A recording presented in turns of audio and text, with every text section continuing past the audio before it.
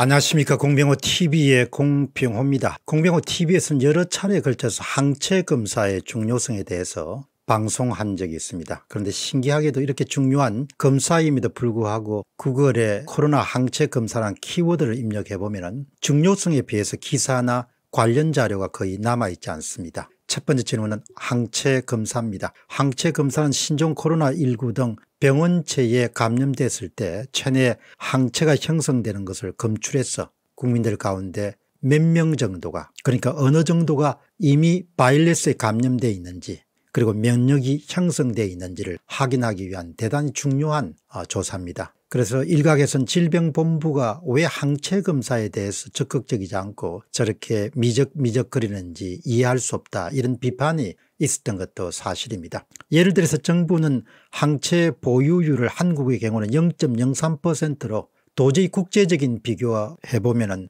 너무 낮은 그런 수치를 계속해서 강조해 왔습니다. 그러나 기존의 국내 한 의학 전문지에 발표된 항체 보유율은 최소 7.6% 정도로 추산됩니다. 정부 발표인 0.03%와 너무 큰 차이가 나게 됩니다. 만일에 기존 연구 결과처럼 7.6% 내외로 기록하거나 그보다 높은 경우라면 항체 보유율이 한국의 경우에 정부가 이미 많은 사람들이 이미 황체를 보유하고 있고 감염되어 있는 상태이기 때문에 정부가 특정 그룹을 쿡 찍은 다음에 검사자 수를 늘리면 늘릴수록 얼마든지 확진자 수를 늘릴 수 있기 때문에 정치적으로 악용될 가능성이 굉장히 높습니다. 그렇기 때문에 한국의 항체 보유율에 대한 정확한 그런 수치가 조사되고 발표되는 것이 코로나19의 정치적 악용 가능성을 낮출 수 있는 대단히 중요한 그런 길입니다.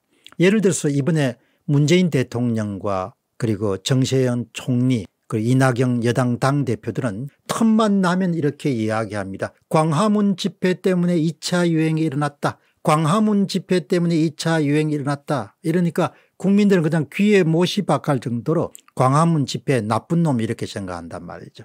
이 같은 근거는 질병본부가 발표한 광화문 집회에 참여했거나 스쳐 지나간 사람 중에서 유난히 확진자 수가 많다.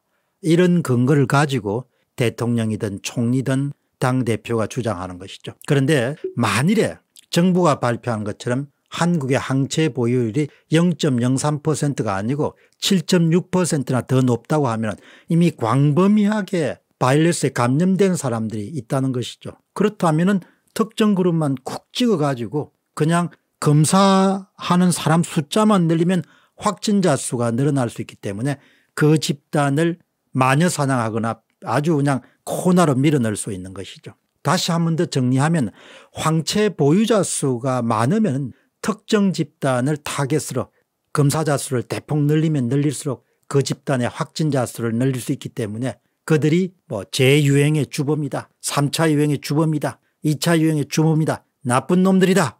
이렇게 막 때리거나 마녀 사냥하거나 속죄양으로 삼을 수 있는 것이죠. 그렇기 때문에 질병본부가 그런 오해나 비판을 피하려면 정기적으로 항체 검사를 벌써 서둘러 가지고 가짜가 아니고 진짜 항체 보유율을 발표해야 그래야 오해를 살 소지를 줄일 수 있다는 이야기죠. 다음은 질병본부의 예상치 못한 행동입니다. 질병관리본부가 국민들의 혈액에 코로나 바이러스 항체가 있는지를 조사한 그 결과를 9월 10일 날 오후 2시 10분에 발표하기로 했습니다. 그런데 발표 10분 전에 돌연 그냥 연기해버렸습니다. 9월 10일까지 입, 코 등에서 분비물을 채취해서 분석하는 진단검사로 확진된 사람은 2만 1743명입니다. 현재 국내에.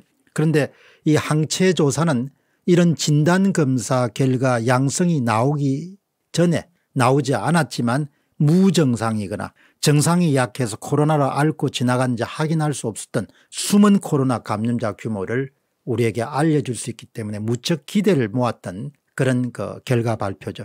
그런데 이날 오후 2시에 다시 질병본부는 전문가 및 내부 외부 검토 의견을 취합해서 발표 일정을 토요일 12시로 조정할 예정이다 이렇게 또 발표한 겁니다. 질병본부는 앞서 지난 9월 8일 날 대구, 대전, 세종 지역 국민건강 영양조사 참여자들에게 수집한 혈정 1440건에 대해서 2차 항체 조사 결과를 10일 오후 2시 10분 정례 브리핑에서 발표하겠다 이렇게 이야기했습니다. 그런데 지난 1차 항체 조사가 7월 9일 날 발표가 됐죠. 그 같은 경우는 0.03%이기 때문에 비판을 많이 받았습니다. 아주 특히 그 감염자 수가 많았던 대구 지역이라든지 경북 지역을 그냥 조사해서 빼버렸기 때문입니다. 그러면 사람들이 당연히 이제 관심을 가지는 거죠. 질병본부가 왜 연기했을까?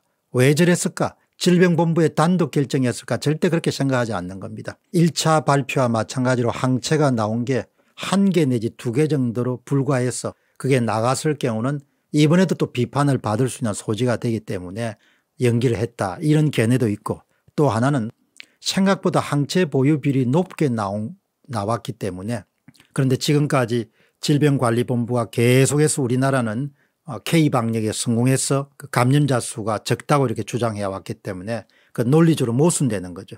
이런 것 때문에 미루게 된 건지 뭐 아직으로서는 알 수가 없는 것이죠. 그러나 분명한 것은 한 대학의 예방의학과 교수는 분명히 이런 점을 지적합니다. 질병본부가 직접 예고한 발표 일정을 단독으로 취소한 것이 아닐 것이다.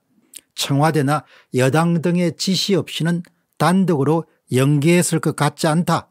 이것이 한 대학의 예방의학 교수의 주장입니다. 자, 그러자 또 취재진들이 주목도가 떨어지는 토요일 날 12시에 왜 그렇게 또 발표하냐 이렇게 하니까 또 후다닥닥 질병본부는 월요일 오후에 항체조사 결과를 발표하겠다 이렇게 수정했습니다.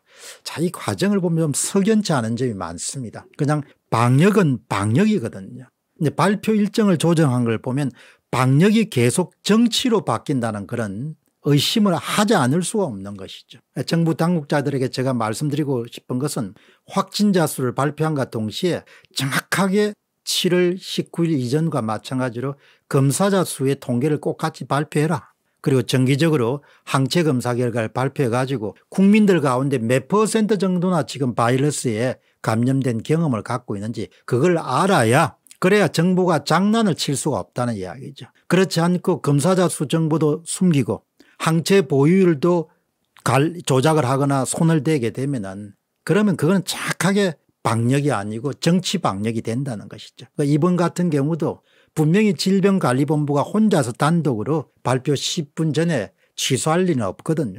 그럼 반드시 청와대나 이런 데서 지시가 갔다는 것이죠. 그게 이미 그 자체가 정치 방역이 될 수밖에 없는 거죠. 그리고 토요일 날 남들 보기 전에 12시에 발표하라는 것도 주목도를 떨어뜨리기 위한 그러니까 욕을 먹는 거죠.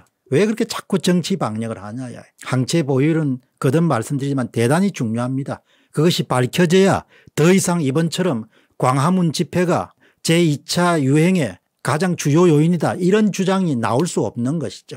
질병이 광범위하게 확산이 돼 있는데 그 상태에서 특정 그룹, 특정 교회, 특정 집회, 특정 시위에 그냥 검사자 수만 늘리면 그냥 원하는 만큼 찍어낼 수 있는 겁니까 확진자 수가 비례해 가지고 그럼 당연히 그 사람들이 문제다 그렇게 하면 안 되는 거죠. 질병관리본부 조치도 참 이해하기 힘들고 단체가 바로 위에는 청와대가 있으니까 이렇게 모든 것을 그냥 만지듯이 이렇게 하면 안 된다는 거죠.